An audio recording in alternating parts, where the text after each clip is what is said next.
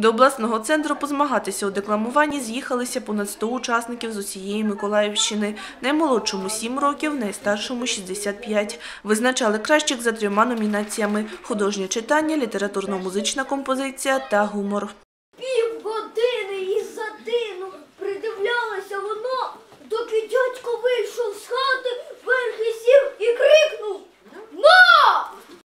Учасників уже досвідчений Дмитро Безбабний. Минулого року чоловік виборов друге місце. Цього разу планує повернутися до рідної Березанки із гран-прі.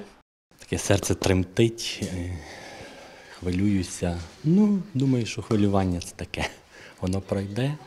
Ну, мені сподобалась е, сама атмосфера цього е, конкурсу, показати себе, проявити себе, послухати других е, цього конкурсу. Ну, взагалі, конкурс е, такий, знаєте, масштабний. Не менш рішуче налаштована і 12-річна Анастасія з Березнегуватого. Дівчинка зізнається, любить читати вірші та планує пов'язати своє майбутнє зі сценою. Мабуть, навіть хочу стати актрисою, але розумієш, це дуже важка професія. Треба знати е, англійську мову і треба навчатися, тому я зараз над цим сумлінно працюю, ходжу на додаткові завдання з англійської мови.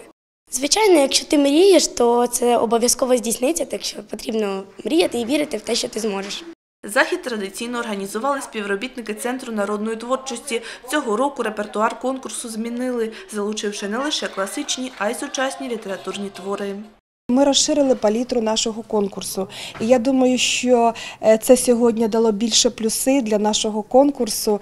Е, Дуже багато молоді, дуже багато е, дітей, дуже багато людей старшої вікової категорії, які читають вірші і про Шевченка, і саме дуже багато віршів про Україну.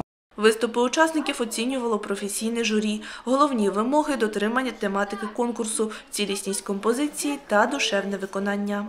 Не надо брать произведения, которые ты не любишь. Ты никогда не сделаешь это произведение хорошо, вдумчиво, достойно, душевно, если ты не любишь то, что ты делаешь. А когда любишь, начинается глубокий интерес подлинный. Это изучение авторского творчества, это желание самовыразиться как можно ярче. Чи дзвін дзвонить, легіт віє, чи шумить? Всюди чується для мене українська мова. Обласний конкурс розмовного жанру «Барви надії» триватиме два дні. Переможців відзначать грамотами та заохочувальними подарунками. А лауреати перших місць у номінації «Гумор» у червні представлятимуть Миколаївщину на всеукраїнському конкурсі «Усмішки Глазового».